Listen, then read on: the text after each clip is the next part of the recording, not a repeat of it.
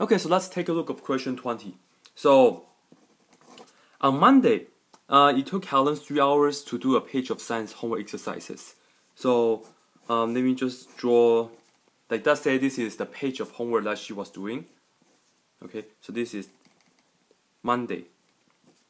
And I don't know how many questions that she did, but uh, she spent three hours on it. It was uh, three hours to do a page of homework, right? So I'll say spend three hours on the homework. And the next day, she did the same number of exercises in two hours only. Okay? So we can just think about still, it's the same amount of questions that she was doing, but um, on Tuesday, she was doing much faster. She only need uh, two hours to do it. And right here it says if her average rate on Monday was P exercises per hour, then the question is asking us to find out what was her average rate of the next day in terms of P. So uh, it says right here the rate, it says it's P exercises per hour. So P exercises per hour. And the question is right here that we would like to know what's the rate, what was the rate that um, when she was doing the exercises on Tuesday. And I don't know that, so let me call that X. So X exercises per hour. Okay. So let's see, um, based on this, what can we do with it?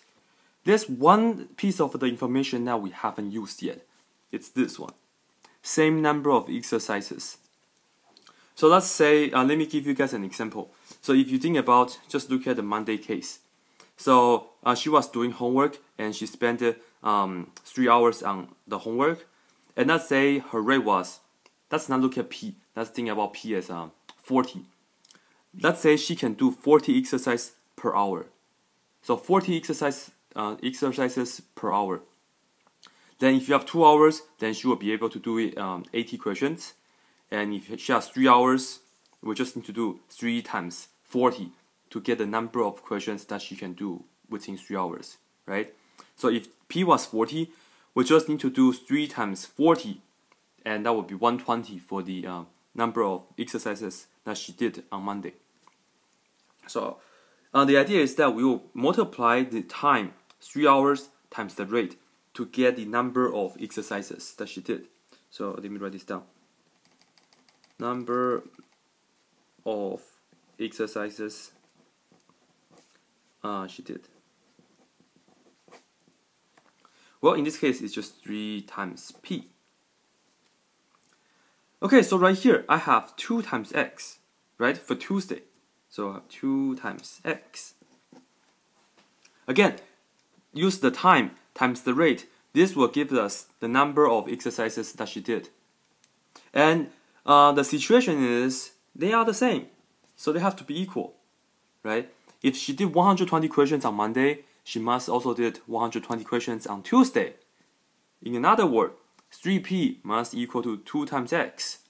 Okay, so here we have 3p equals to 2x.